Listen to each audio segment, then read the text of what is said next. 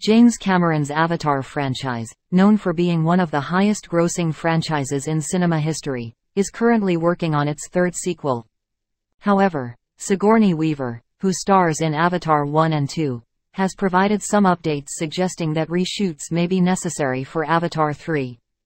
The original Avatar film, released in 2009, revolutionized the cinema experience for audiences, and its highly anticipated second installment raised the bar even further.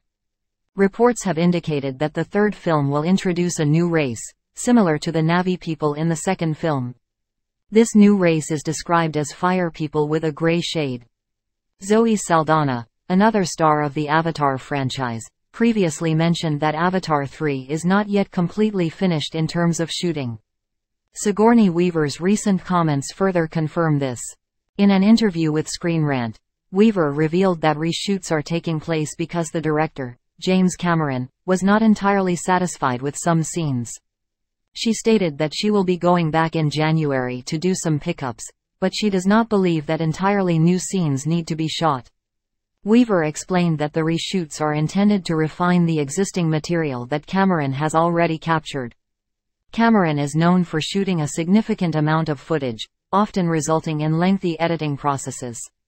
Weaver suggested that the reshoots will involve capturing additional footage for specific moments that Cameron wants to enhance. Avatar 3 is rumored to have a runtime of 9 hours, and Cameron has claimed that they are nearing completion on the third film. There have been speculations that the 9-hour cut of Avatar 3 might be released on the streaming platform Disney+.